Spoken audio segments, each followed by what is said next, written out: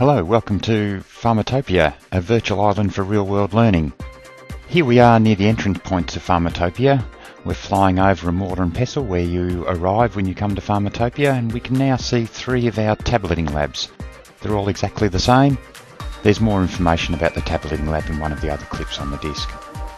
We have other things on the island other than just the learning activities. Here we have the arrival area, coffee area below my left shoulder there, and a seating area on my right where students can engage in conversation.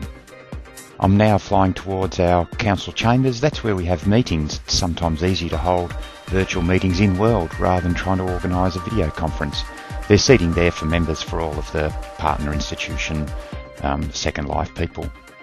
In front of me now there, and I'm just going past on the left hand side of it, is the University of Nottingham's suite of spectroscopy labs in those labs there. They're centred around the double helix there. There's activities for mass spectrometry and atomic absorption spectroscopy. University of North Carolina's teaching hospital was there next to University of Nottingham's activities. University of Queensland is currently, right as we speak, developing a compounding dispensary where pharmacy students will practice their calculations. The calculations will be geared towards the appropriate year level, with calculations becoming more difficult as students progress through the course.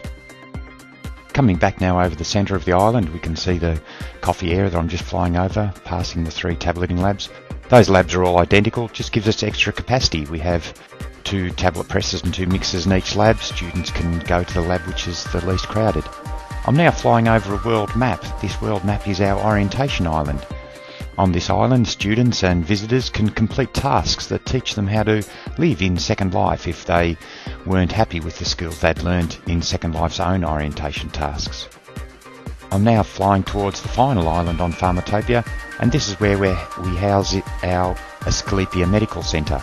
In this medical centre, we're building the sterile dispensing suite of rooms, and we're also will have some interprofessional learning activities in this island.